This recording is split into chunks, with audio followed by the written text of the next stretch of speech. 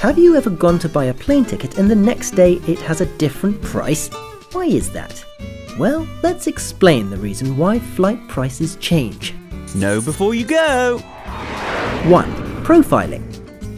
Airlines profile their customers to help them adjust prices. Working like this, they can separate them into different classes, such as business or economy, so that means a different price too. 2.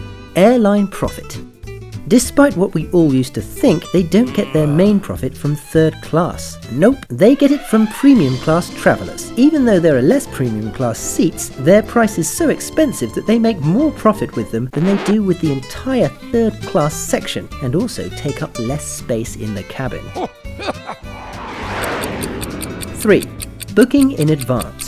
The airlines know that tourist passengers are going to book their tickets a long time in advance and are probably going to be shopping around for the best price. But business passengers' tickets often need to be booked at the last minute, and seeing as it's their employer who pays for their ticket, they're less likely to complain about the pricing. So they take advantage of it and raise the prices for that period.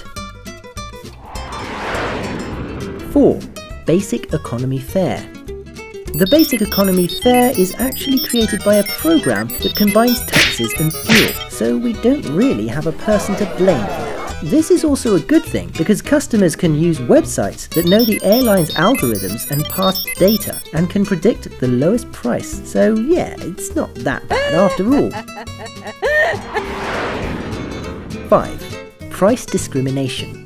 Another reason for high prices is price discrimination, where airlines bump up the price on more popular flights. There are also travel agents or price comparison websites which can introduce a further level of price discrimination. And yes, it's legal. 6. Days of the week. There are some days in the week where it's more expensive mm. to buy your ticket. For example, Monday, Friday, or Saturday are the most expensive days to leave because business travellers leave or return from their trip and families leave or return from their weekend trip. 7. Cheaper areas. It doesn't always apply, but in general, if there's a lot of airlines competing in one area, the tickets tend to be cheaper. In these cases, it's better to buy tickets in advance.